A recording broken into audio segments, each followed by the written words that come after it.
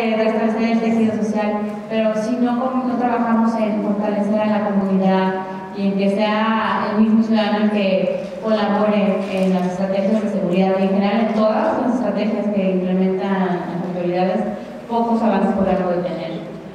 Y por eso la necesidad de, de la participación de todos, y empezando desde los hogares, desde las escuelas, promoviendo valores, la sana convivencia.